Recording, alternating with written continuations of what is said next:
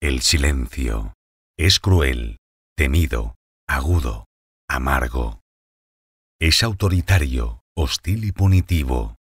Es pasional, incondicional. La indiferencia con el silencio solo firma un sinfín sin retorno, ni posibilidad de correspondencia. Ya a la venta en editorialcirculorrojo.com.